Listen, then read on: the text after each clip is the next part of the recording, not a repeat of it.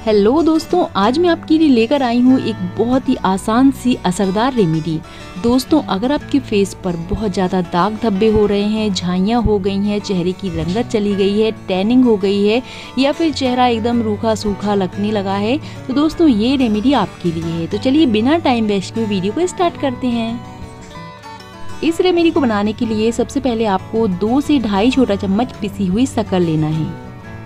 और इसके साथ ही आपको लेना है थोड़ा सा एलोवेरा जेल। एलोवेरा जेल को आपको इस शक्कर में डाल देना है और इसके साथ ही आपको इसमें डालना है कुछ बूंदे नींबू के रस की।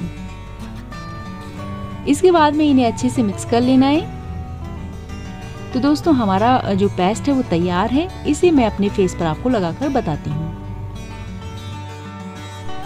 तो दोस्तों, इस रेमेडी को अपने फेस पर लगाने से पहले फेस को अच्छे से धो लें पहुँच लें। फिर पूरे फेस पर इस पेस्ट को आपको लगा लेना है।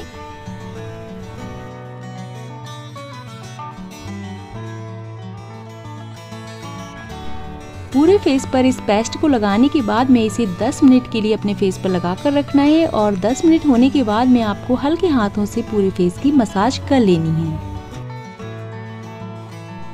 मसाज हो चुकी है फेस को पानी से धो लेना है। दोस्तों, इस तरह से आप सप्ताह में दो बार इस पेस्ट को अपने फेस पर लगा सकते हैं। काफ़ी अच्छा है। दोस्तों, ये आपकी स्किन को डीपली क्लीन कर देगा और अगर आपके कील मुहासे हैं तो उनको भी ये हटाने में मदद करेगा। चेहरे की गंदगी को हटाएगा स्किन डीपली क्लीन हो जाएगी तो चेहरा एकदम चमकेगा।